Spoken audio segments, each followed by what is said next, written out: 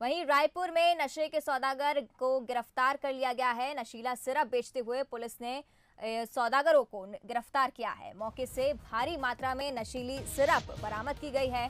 आरोपी शैलेंद्र नगर इलाके में सिरप बेच रहा था। कोतवाली थाना पुलिस की ये कार्रवाई है। नशे के सौदागर गिरफ़्तार हो गए हैं। मौके से भारी मात्रा में नशीली सिरप बरामद की गई है।